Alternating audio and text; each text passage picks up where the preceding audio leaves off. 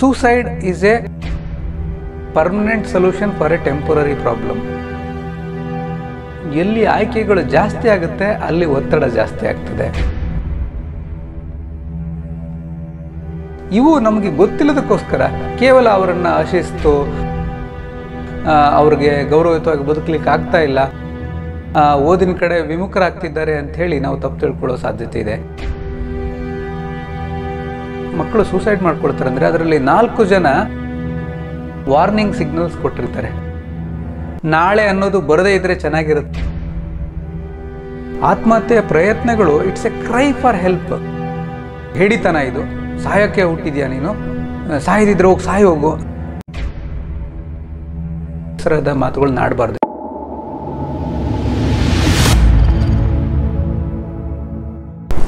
ನಮಸ್ಕಾರ ವೀಕ್ಷಕರೇ.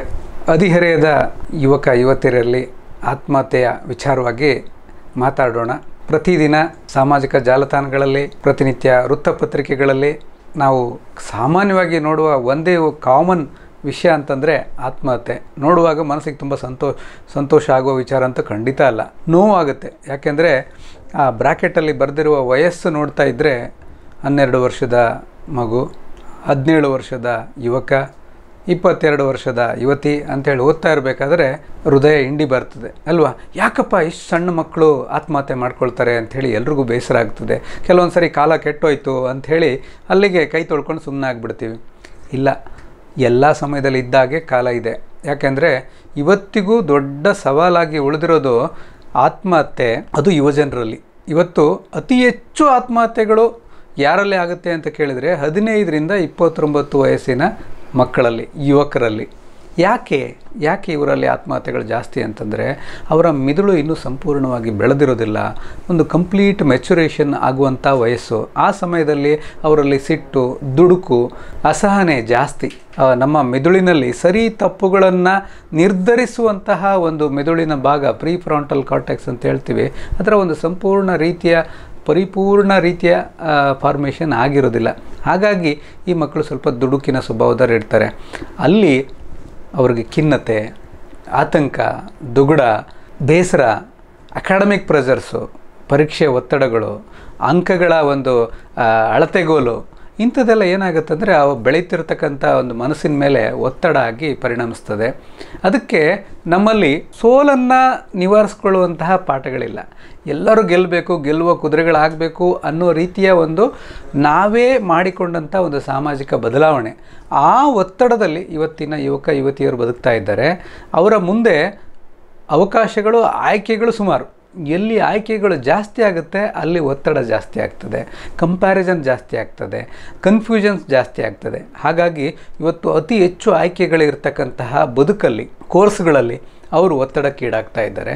ಸೊ ಖಿನ್ನತೆ, ಒತ್ತಡ ಇಂತಹ ವಿಚಾರಗಳನ್ನು ನಾವು ಇನ್ನಾದರೂ ಎಚ್ಚೆತ್ಕೊಂಡು ಗಮನಿಸಬೇಕು. ಹದಿಹರೆಯದವರ ಮಾನಸಿಕ ಆರೋಗ್ಯದ ಬಗ್ಗೆ ಗಮನ ಕೊಡಬೇಕು. ಅದರಲ್ಲೂ ಹದಿಹರೆಯದವರಲ್ಲಿ ಕುತೂಹಲ ಜಾಸ್ತಿ ಎಕ್ಸ್ಪರಿಮೆಂಟೇಷನ್ ಪ್ರಯೋಗಶೀಲ ಮನೋಭಾವನೆ ಜಾಸ್ತಿ. ಹಾಗಾಗಿ ಅವರಲ್ಲಿ ಆಗಲೇ ಮದ್ಯ, ಮಾದಕ ದ್ರವ್ಯ ವ್ಯಸನ, ಮೊದಲ ಮಾದಕ ದ್ರವ್ಯ ರುಚಿಗಳು ಪ್ರಾರಂಭ ಆಗಿರ್ತದೆ. ಇದು ಬೇಯ್ತಾ ಇರುವ ಬೆಂಕಿಗೆ ತುಪ್ಪ ಹಾಕದಂಗೆ ಆಗುತ್ತೆ. ಎಲ್ಲಿ ಮನಸ್ಸಿಗೆ ಬೇಸರ ಇದೆ, ದುಃಖ ಇದೆ, ಹತಾಶೆ ಇದೆ ರಿಲೇಷನ್ಶಿಪ್ ಬ್ರೇಕ್ ಡೌನ್ಸು ಅವರ ಸ್ನೇಹಿತರಿಂದ ದೂರ ಆಗಿರ್ತಕ್ಕಂಥದ್ದು, ಪ್ರೀತಿಸಿದವರಿಂದ ದೂರ ಆಗಿರ್ತಕ್ಕಂಥದ್ದು ಸಮಸ್ಯೆಗಳಿದೆ. ಅದರ ಜೊತೆಗೆ ಮಧ್ಯೆ ಮಾದಕ ದ್ರವ್ಯ ವ್ಯಸನಗಳು ಸೇರಿಕೊಳ್ಳುತ್ತೆ. ಆ, ಬೆಂಕಿ, ಧಗ್ ಅಂತ ಉರಿತದೆ. ಅಂತಹ ಸಮಸ್ಯೆಗಳಿರ್ತಕ್ಕಂಥ ಮಕ್ಕಳು ನಿಮಗೆ ಅನ್ಸಲ್ವಾ? ಅವರು ಅಸಹಾಯಕರು, ಅವ್ರಿಗೆ ಸಹಾಯದ ನಿರೀಕ್ಷೆಗಳಿರ್ತದೆ ಅಂತ. ದುರದೃಷ್ಟ ಏನಂತಂದರೆ, ಈ ಮಕ್ಕಳ ಖಿನ್ನತೆ, ಬೇಸರ ಅದರ ಲಕ್ಷಣಗಳೇ ಬೇರೆ. ಹದಿಹರೆಯದಲ್ಲಿರ್ತಕ್ಕಂಥ ಮಕ್ಕಳು ಅವ್ರಿಗೆ ಬೇಸರ ಆದರೆ ನನಗೆ ಸಹಾಯ ಮಾಡಿ ಅಂತ ಕೇಳಲ್ಲ. ಆ ಮಕ್ಕಳು ನಗ್ನಾಗುತ್ತಾ, ತಮಾಷೆ ಮಾಡ್ಕೊಂಡು, ಜೋಕ್ ಮಾಡ್ಕೊಂಡಿರ್ಬೋದು, ಕಾರಣ ಇಲ್ಲದೆ ಸಿಟ್ಟು ಮಾಡ್ಕೊಳ್ಬೋದು, ಆಕ್ರಮಣಶೀಲತೆ ಅವರಲ್ಲಿ ನಾವು ನೋಡ್ಬೋದು, ಓದಿನಲ್ಲಿ ಹಿಂದೆ ಉಳಿಬೋದು, ಅವರ ಡ್ರೆಸ್ಸಿಂಗ್ ಸೆನ್ಸ್ ತುಂಬ ಚೇಂಜ್ ಆಗ್ಬೋದು ಆಟ ಪಾಠಗಳಲ್ಲಿ ಆಸಕ್ತಿ ಕಳೆದುಕೊಳ್ಬೋದು, ವಿಚಿತ್ರವಾಗಿ ಕೇಶವಿನ್ಯಾಸಗಳನ್ನು ಮಾಡಿಸ್ಕೊಳ್ಬೋದು, ಮನೆಯವರಿಂದ ದೂರ ಉಳಿದು ಸ್ನೇಹಿತರ ಜೊತೆಗೆ ಹೆಚ್ಚು ಹೊತ್ತು ಕಾಲ ಕಳೀತಾರೆ ಅನ್ನುವ ಆರೋಪಕ್ಕೆ ಹೊಣೆ ಆಗ್ಬೋದು ಅವರ ನಿದ್ರೆ ಊಟದ ಒಂದು ವ್ಯವಸ್ಥೆ ಏರುಪೇರಾಗ್ಬೋದು. ಇವು ನಮಗೆ ಗೊತ್ತಿಲ್ಲದಕ್ಕೋಸ್ಕರ ಕೇವಲ ಅವರನ್ನು ಆಶಿಸ್ತು ಅವ್ರಿಗೆ ಗೌರವಯುತವಾಗಿ ಬದುಕಲಿಕ್ಕೆ ಆಗ್ತಾ ಇಲ್ಲ ಓದಿನ ಕಡೆ ವಿಮುಖರಾಗ್ತಿದ್ದಾರೆ ಅಂಥೇಳಿ ನಾವು ತಪ್ಪು ತಿಳ್ಕೊಳ್ಳೋ ಸಾಧ್ಯತೆ ಇದೆ. ಹಾಗಾಗಿ ಅಧಿಹರೆಯದವರಲ್ಲಿ ಇರ್ತಕ್ಕಂಥ ಖಿನ್ನತೆ ಬೇಸರ, ಗೀಳು ಮನೋರೋಗ ಮದ್ಯ ಮಾದಕ ದ್ರವ್ಯ ವ್ಯಸನಗಳು ರಿಲೇಷನ್ಶಿಪ್ ಪ್ರಾಬ್ಲಮ್ಸು ಇವನ್ನೆಲ್ಲ ಅತಿ ಮುಖ್ಯವಾಗಿ ಗಮನಿಸ್ಕೊಳ್ಬೇಕು. ಏನು ಮಾಡ್ಬೋದಾಗಿದ್ರೆ ಒಂದು ಕ್ವಾಲಿಟಿ ಟೈಮ್ ತಂದೆ ತಾಯಂದರು, ವಯಸ್ಸಿಗೆ ಬಂದ ಮಕ್ಕಳ ಜೊತೆಗೆ ಒಂದು ಐದು ಹತ್ತು ನಿಮಿಷ ಕೂತ್ಕೊಂಡು, ಮಗ ನೀನು ಹೇಗಿದೆಯಾ ಇವತ್ತು ಯಾಕೆ ಡಲ್ ಆಗಿದೆಯಾ ಏನು ವಿಶೇಷ ನಿನ್ನ ಶಾಲೆಯಲ್ಲಿ? ನಿನ್ನ ಸ್ನೇಹಿತರು ಯಾರು? ನಿನ್ನ ಪರೀಕ್ಷೆಗಳು ಯಾವಾಗ? ಈ ರೀತಿಯ ಒಂದು ಕುಶಲೋಪರಿ ಮಾತುಗಳನ್ನು ಅವನು ಮನೆಗೆ ಬರುವಾಗ, ಹೌದು ಲೇಟಾಗೇ ಬಂದಿದ್ದಾನೆ. ಆಗಲೇ ಶುರುವಾಗುತ್ತೆ ಜಗಳ. ಎಲ್ಲೋಗಿದ್ದೆ, ಏನು ಮಾಡಿದ್ದೆ, ಊರು ತಿರುಗ್ಲಿಕ್ಕೆ ಹೋಗಿದ್ದೆ ಅನ್ನೋದಕ್ಕಿಂತ ಅವನು ಊಟ ಮಾಡಿದಾನ. ಅವನು ಏನಾದ್ರು ಇವತ್ತು ಪರೀಕ್ಷೆ ರಿಸಲ್ಟ್ಸ್ ಕೊಟ್ಟಿದ್ದಾರಾ ಪರೀಕ್ಷೆಯಲ್ಲಿ ಏನಾದ್ರು ಫೇಲ್ ಆಗಿದ್ದಾನ ಈ ಥರದ ಒಂದು ಉಭಯ ಕುಶಲೋಪರಿಗೆ ಒಂದು ಸಣ್ಣ ಸಮಯವನ್ನು ಮೀಸಲಿಟ್ಟರೆ ಅಪ್ಪ ಅಮ್ಮನ ಫೇಸ್ ಮಾಡಲಿಕ್ಕೆ ಆಗ್ತಾ ಇಲ್ಲ ಅನ್ನುವ ಮಕ್ಕಳು ಕೂಡ ಒಂದಲ್ಲ ಒಂದು ಸಮಯದಲ್ಲಿ ಅವ್ರು ಹೇಳ್ಕೊಳ್ಳಿಕ್ಕೆ ಶುರು ಮಾಡ್ತಾರೆ. ಎಲ್ಲ ಮಕ್ಕಳು ಕಷ್ಟದಲ್ಲಿದ್ದಾಗ ನನಗೆ ಯಾರಾದರೂ ಸಹಾಯ ಮಾಡಲಿ ಅನ್ನೋ ಮನೋಭಾವನೆ ಇದ್ದೇ ಇರ್ತದೆ. ಎಷ್ಟು ದುರದೃಷ್ಟ ಅಂತಂದರೆ ಐದು ಜನ ಮಕ್ಕಳು ಸೂಸೈಡ್ ಮಾಡ್ಕೊಳ್ತಾರೆ ಅಂದರೆ ಅದರಲ್ಲಿ ನಾಲ್ಕು ಜನ ವಾರ್ನಿಂಗ್ ಸಿಗ್ನಲ್ಸ್ ಕೊಟ್ಟಿರ್ತಾರೆ. ಅಂದರೆ ನನಗೆ ಹೆಲ್ಪ್ ಮಾಡಿ, ನನಗೆ ಬದುಕಲಿಕ್ಕೆ ಕಷ್ಟ ಆಗ್ತಿದೆ, ನನಗೆ ಯಾರಾದರೂ ಸಹಾಯ ಮಾಡಿ ಅನ್ನುವ ವಾರ್ನಿಂಗ್ ಸಿಗ್ನಲ್ಸ್ ಕೊಟ್ಟಿರ್ತಾರೆ. ಆದರೆ ನಾವು ಅದನ್ನು ಗುರುತಿಸಿರೋದಿಲ್ಲ ಅವನು, ಯಾಗಿದ್ರೆ ಈ ವಾರ್ನಿಂಗ್ ಸಿಗ್ನಲ್ಸ್ ಅಂದರೆ ಏನು? ಸಾಯುವ ಮೊದಲು ಯಾರಿಗೂ ಸಾಯ್ಲಿಕ್ಕೆ ಅಂತ ಇಷ್ಟ ಇಲ್ಲ.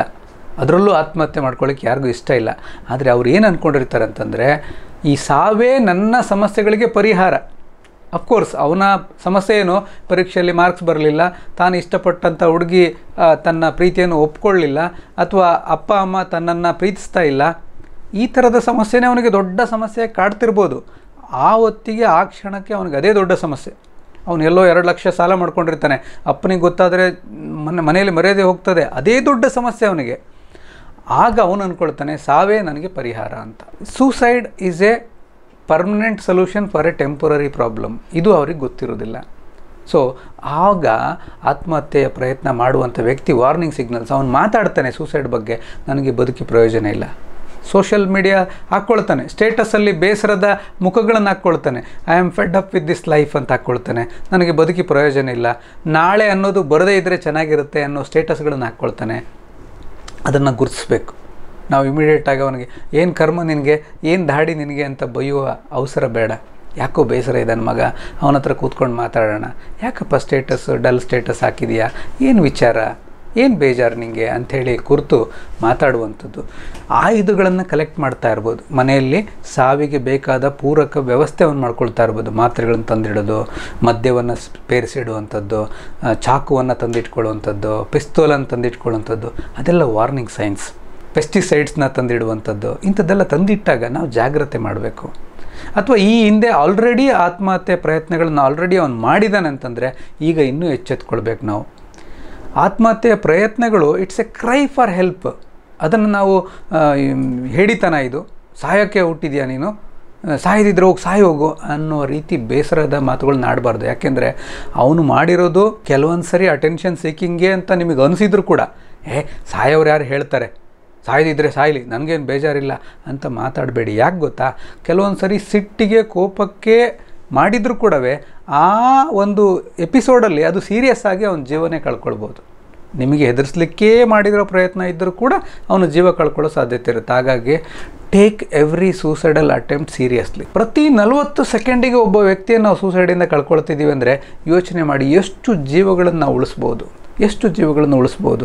ಕೇವಲ ಆ ಸೂಸೈಡ್ ಮಾಡಿಕೊಳ್ಳುವಂಥ ವ್ಯಕ್ತಿಯ ಜೊತೆಗೆ ಯಾರೋ ಅವನ ಮನಸ್ಸು ತಿಳಿಯಾಗೋವರೆಗೂ ಮಾತನಾಡಬೇಕು. ಸಿಂಪಲ್ ಆಗಿ ಹೇಳ್ಬೇಕಂದ್ರೆ ಮಾತಾಡಬೇಕು ಪ್ರೊಫೆಷ್ನಲ್ ಆಗಿ ಹೇಳ್ಬೇಕಂದ್ರೆ ಅವರನ್ನು ಕೌನ್ಸ್ಲಿಂಗಿಗೆ ಕರ್ಕೊಂಡು ಹೋಗ್ಬೇಕು. ಏನಿದು ಕೌನ್ಸ್ಲಿಂಗ್